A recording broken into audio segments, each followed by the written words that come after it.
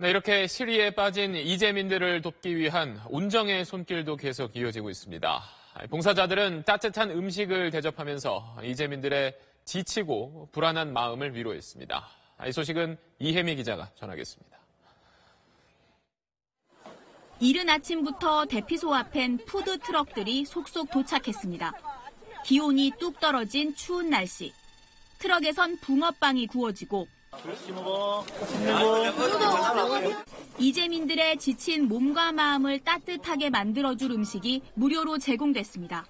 음식 드시고 조금이라도 힘내시라고 뭐 그런 마음이죠. 뭐, 뭐 어떻게 뭐 어떻게 말로 어떻게 위로가 되겠습니까? 점심엔 자원봉사자들이 현장에서 직접 자장면을 만들어 이재민들에게 전달했습니다. 봉사자들은 배식부터 배달까지 도맡아 대피소 안팎의 이재민들을 살뜰히 챙겼습니다. 의료진도 대피소에 상주하며 이재민들의 건강을 돌봤습니다. 숫자를 내가 세라고 하는 거는 소리를 내면은 불안이 차단돼요. 그래서 그걸 꼭 명심하셔야 돼요. 지난 사흘간 1,300여 명의 봉사자들이 이재민들과 피해 복구 작업을 도왔습니다. 전국의 지자체와 기업들은 물과 라면 등 각종 구호품과 성금을 피해 지역에 보내 지원에 동참했습니다. SBS 이혜미입니다.